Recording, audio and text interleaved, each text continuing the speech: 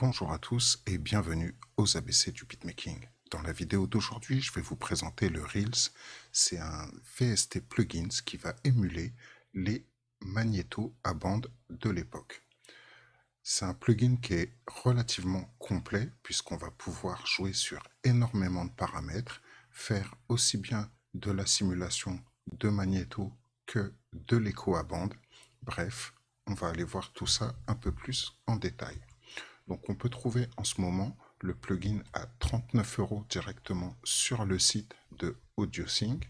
Donc il vous suffit de taper dans Google audiosync.net et vous allez tomber sur le site. Il propose pas mal de VST, notamment des émulations de matériel à l'ancienne, mais aujourd'hui on va voir le Reels qui me semble être un excellent produit avec pas mal de réglages. Donc il va être très prisé pour les amateurs de Lofi ou tout simplement pour des gens qui ont envie d'avoir le son euh, vintage au niveau de leur production. Donc c'est vraiment très bien fait et on va aller voir ça de suite dans Reason.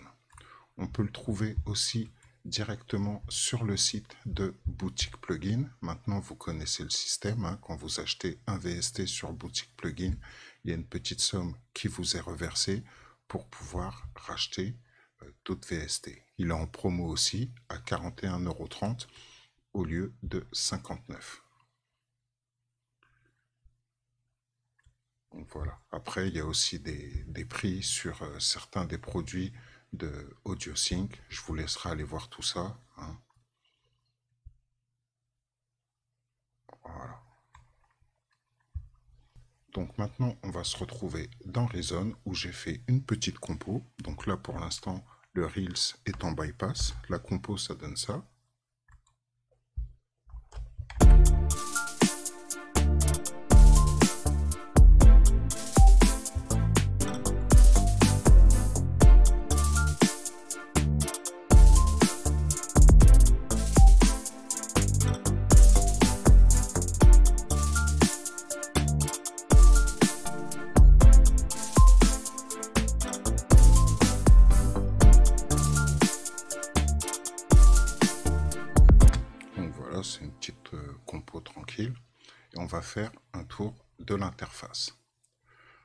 Au départ, en haut, vous avez l'indicateur où vous allez pouvoir trouver les presets donc, qui vont être divisés en deux catégories, Echo ou Tape.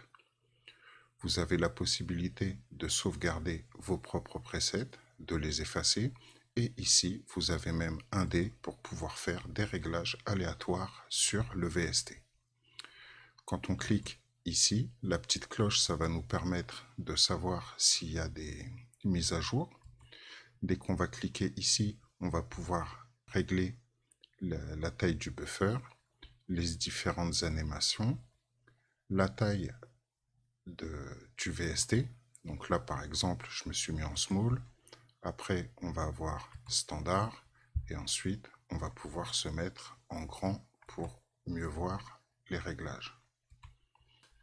Et après, il y a toutes les infos sur euh, le manuel en ligne et votre enregistrement, la mise en place de la clé. Après, comment ça se passe? On va avoir diverses parties sur le VST, c'est-à-dire qu'ici, on va avoir la partie tape qui va où on va pouvoir régler les différents paramètres du magnétophone, la partie noise pour avoir le bruit euh, des moteurs du magnéto plus le bruit d'usure de la bande. Juste en dessous, on va avoir la partie écho, puisqu'on peut utiliser le VST comme un module d'écho à bande.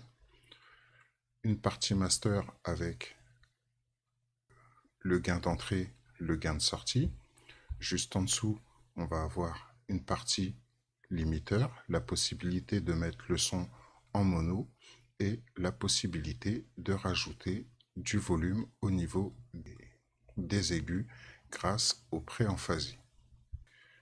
Ensuite ici, on a le pick maker et le bouton mix pour faire comme du traitement parallèle, c'est-à-dire qu'on va pouvoir mixer le son avec et sans l'effet. Et au milieu, on a euh, la possibilité de faire l'effet tape stop, c'est-à-dire que dès qu'on va appuyer sur stop, le son et la bande va s'arrêter et à côté, on a un petit potentiomètre qui va nous permettre de régler la vitesse à laquelle la bande s'arrête. Donc après, si on part au niveau des réglages, on va pouvoir émuler trois types de magnétos différents. Donc, ils ont appelé ça, le premier, ça va être Japon, italien et français.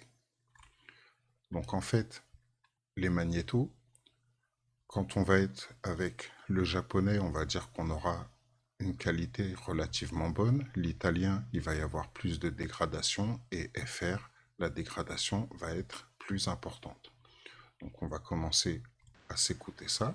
Là, je l'ai mis en marche. On peut entendre le souffle de la bande qu'on peut mettre en marche uniquement avec l'enveloppe. C'est-à-dire tant qu'il n'y a pas de son, il n'y a pas de souffle. À partir du moment où je vais mettre le son en marche, ça va suivre l'enveloppe du son et donc les bruits vont pouvoir commencer. Ensuite, on va avoir les paramètres de tape.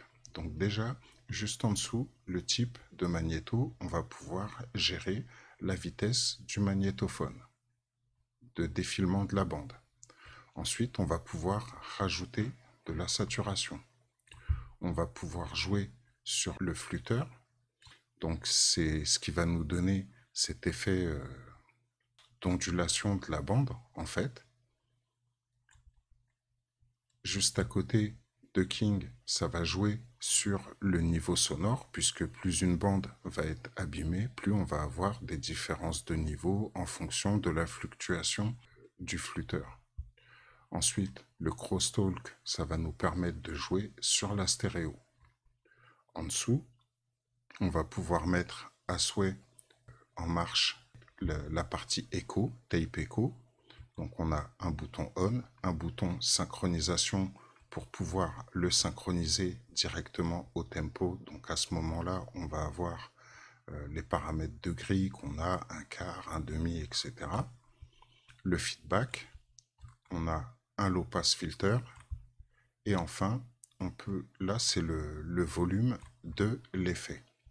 Et si on en a envie, on a un, un switch qui va nous permettre d'entendre uniquement l'effet écho. Juste en dessous, on va pouvoir mettre en marche le limiteur. On a le switch pour mettre tout le son en mono et le paramètre pour augmenter les aigus donc donner du grain en plus en fait. Vous allez voir après quand on va faire les tests. Le tape stop et le bouton mix, ça je l'avais déjà dit.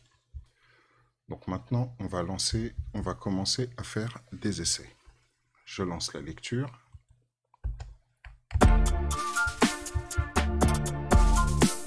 Donc là, le son normal.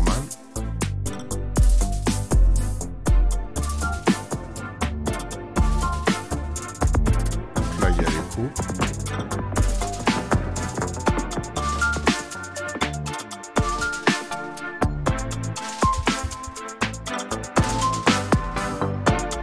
Là, le son passe entièrement dans le Reels. Donc on a vraiment toutes les options qui sont en marche.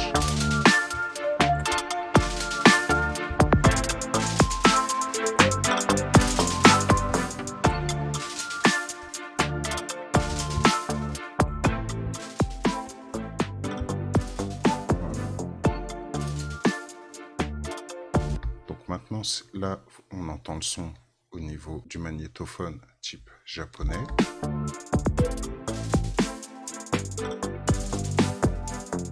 je passe en italien.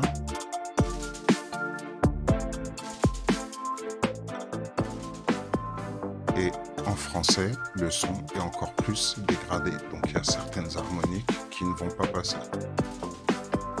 Maintenant, je me remets en italien et je vais rajouter la saturation.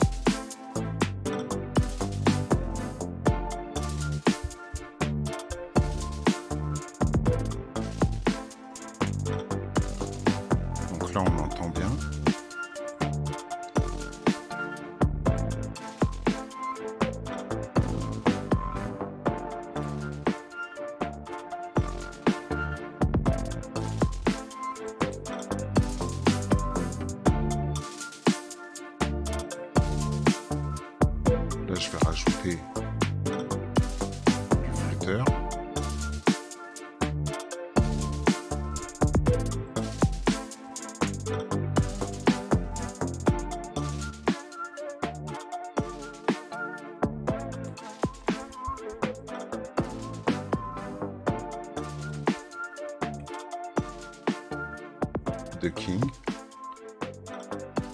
Donc là, on va avoir des fluctuations dans le niveau sonore.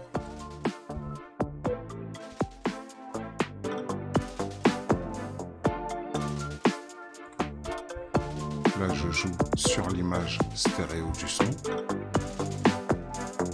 Je rajoute du souffle. Le bruit des moteurs. Là, on commence à être bien dans la lo-fi. Hein.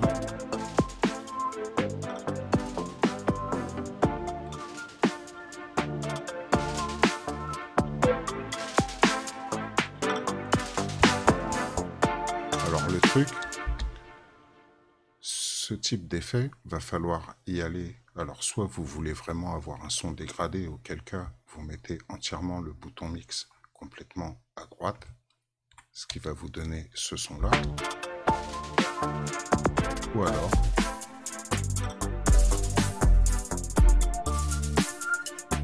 vous le mixez avec du son sans effet et le son avec l'effet.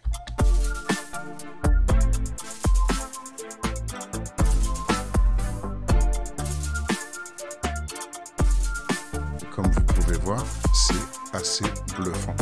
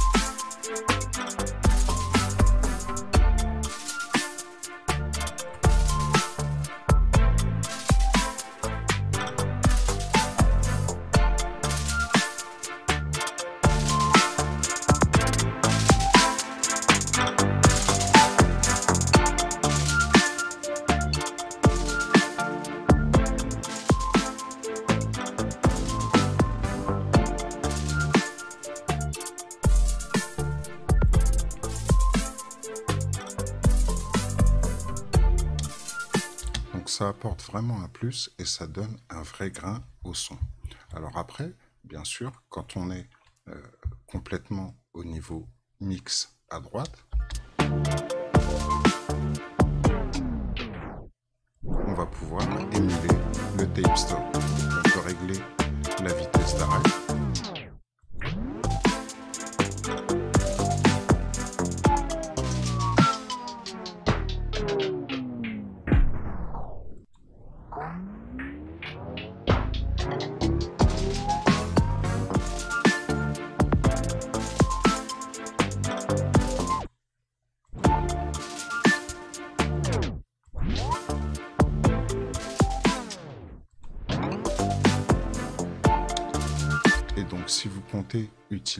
Le tape stop, faites bien attention parce que si vous êtes en mix par exemple à 40%,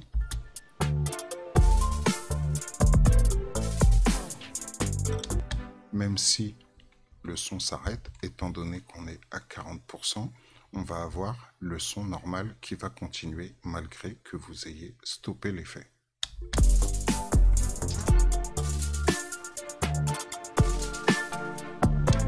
Donc après, en automation, ça peut donner des effets sympas. C'est des choses, ce sont des choses qu'il faudra tester suivant ce que vous voulez euh, faire comme type d'effet.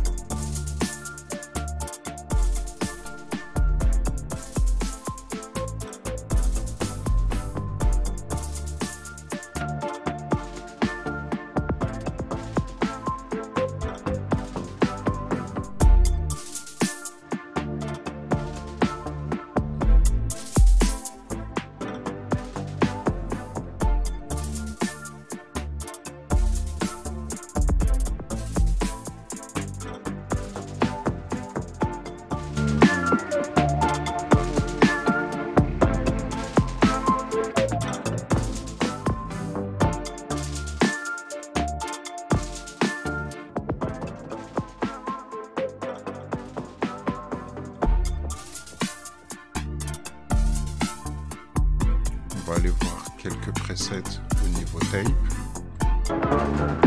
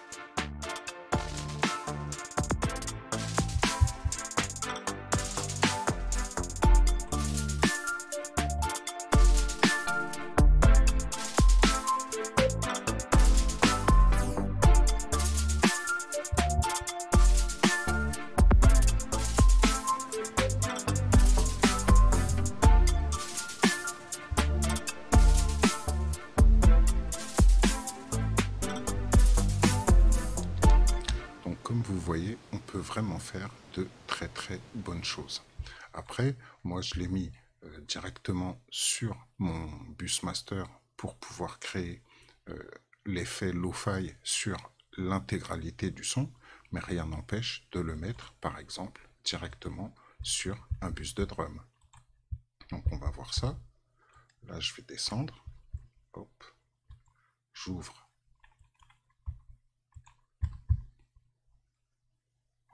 Donc là, je vais dans Audio Sing. Je prends, je mets mes drums directement en solo.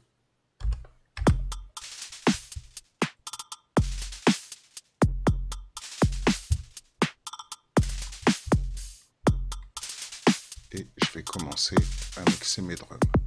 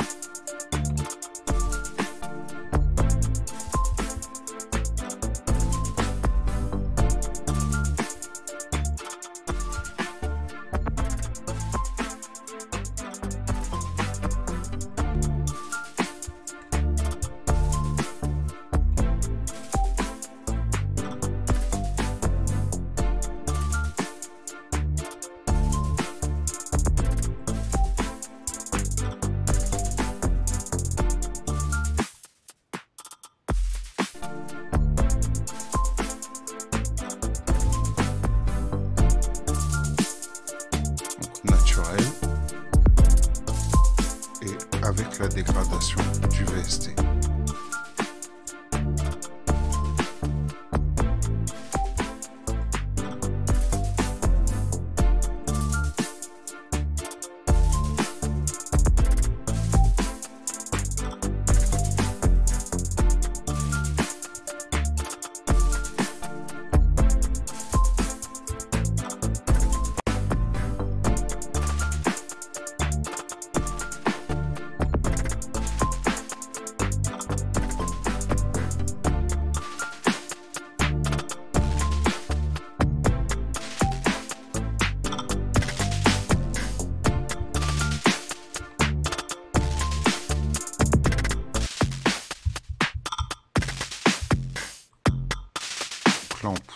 saturation.